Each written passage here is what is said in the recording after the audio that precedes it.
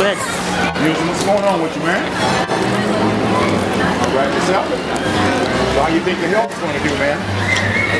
You did your thing in there. I like your work, man.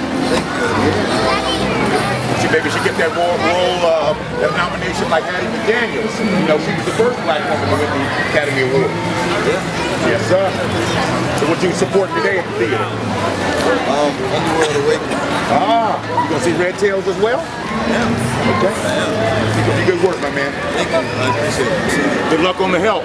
Thank you.